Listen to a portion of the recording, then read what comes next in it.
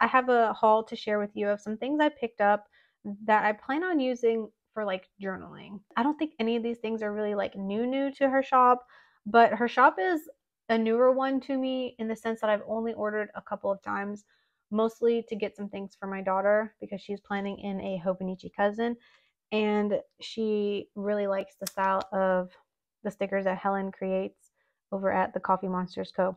So when you get an order, the stickers that you get come in, you know, packaged in a plastic, and this was also in plastic. I just had took it off already.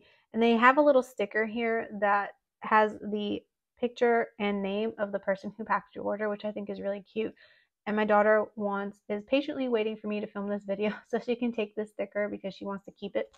She's been sticking them over here on her little order card, which I'll show you in a minute. It's a way to like keep track of reward, like the beans. Every order you get like one of these cards, and this one happened to have a cookie recipe on it on the back, which my daughter's upset that she didn't get this one because she already has another card that she's already started using with her her coffee beans. So the way the coffee beans work is on your sheets of stickers that you order, you'll see that there's like a little coffee bean right here and you stick that sticker over here and you collect the coffee beans. And then in order for you to like to redeem it, you have to take a picture and send it to them. When you place your order, you have to let them know that you're going to redeem the card. And so you redeem the card for a sampler that will come with your order. So I think this is a really cool idea for a shop to do. So this is going to be my card that I'm going to use for collecting coffee beans. Let me show you what stickers I picked up. So this is not a sticker. This is just a die um just a die cut and it's just cute with the little flowers. I love plants and flowers and things. So I thought this was really cute. I might add this to my planner. I don't know where I'm gonna stick it. I'm probably gonna put like some double some like repositionable tape on the back of that and I'll stick that somewhere. So I got the she has so many different emotion stickers that you can get to represent pretty much every single emotion and she draws all these things. So the ones I picked up were this is like a sampler kind of you can get each of these emotions as like a full entire sheet, but she has these sheets now where you can get like a variety. So this one's the emoji heads part 1 and I got the emoji heads part 2. So these are mostly like happy emotions and these are mostly like sad emotions. And then, of course, I got the Happy Mail emojis, which I think are super cute. And then the gardening emojis because I need to take care of my plants, especially in the summertime because, you know, it's hot and I want my plants to die. So those are the ones that I got, and this is the freebie that it came with. I think this is super cute. A highlight and a low light. That's adorable. I hope they come out with some sheets like this because I think I would love to get that because then you can stick those in the journal get your ducks in a row. That's cute. Okay, so this is what I got, and I thought that I would use this like a journal. This is called the My Emoji Planner, and this is a volume 2 version. I don't think she has a volume 1 version on the site, but she says that the intention for this planner is to give you something where you don't have to take it too seriously. You can either plan out your days, make doodles, jot down your ideas, or use it as a diary, and no room for judgment. So I thought this would be a cool little journal and that's why I got the stickers so I can use them in here for that. So it first comes with a like sticker sheet that you can use to stick you know some stickers on there so you don't need to have like sheets with it. So this is a days of the week sticker sheet in Helen's handwriting and then a page for some pen swatches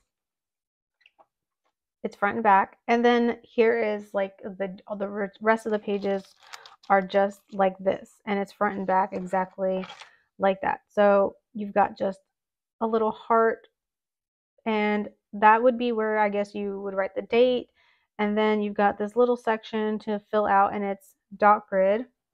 You can tell it's dot grid and I am intending uh, my idea with this is that I could use this at night before I go to bed in like a way that I could just open end journal as opposed to like a prompted one. And I could use the stickers that I have to kind of help with like what my mood was for the day or like how my mood was during certain things that happened in the day. And, you know, if I got something in the mail and that made me happy, then I could use like um, one of these sorts of stickers. So I really think that this would be a really cool way to journal and, you know, have fun using stickers.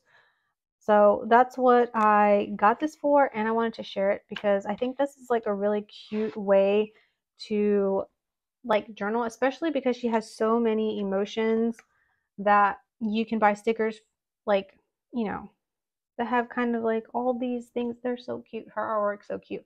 There are other shops too that you could shop for that have similar styles of stickers that you know you can use in journaling, but I figured this would be a good start for me since there's such a variety in just these two sheets alone.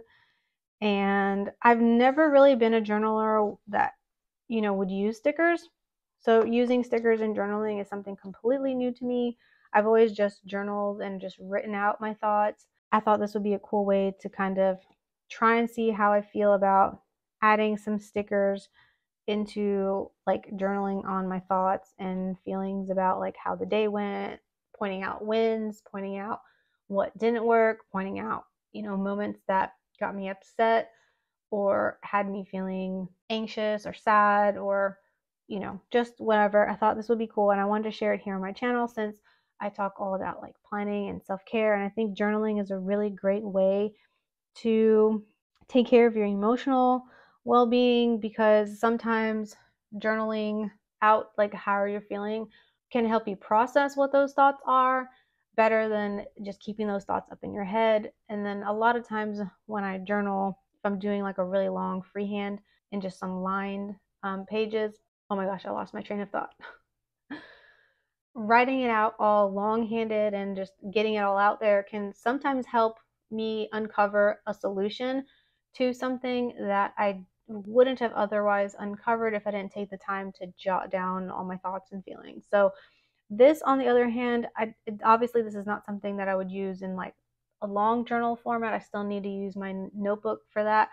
But with this is more to kind of record some wins and some things that didn't work because I am following like the Moxie Life system where I want to reflect on the week at the end of the week. And unless I'm doing some kind of a daily journaling I'm not going to really remember how the week went. So I've been every day trying to write something down to kind of give me some clues as to how the day went, what kind of wins might have happened in the day, what things brought me joy, and those sorts of things so that I can just read those um, journal entries back and kind of see how my week was overall, especially because it's really easy for like a negative event to overcast the entire week and journaling like this every single day is going is helping me to more accurately reflect on the week and on the month as opposed to just kind of like trying to like remember and keep everything in my head.